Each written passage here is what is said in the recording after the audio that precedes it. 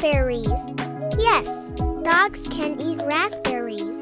Raspberries are fine in moderation. They contain antioxidants that are great for dogs. They're low in sugar and calories, but high in fiber, manganese, and vitamin C.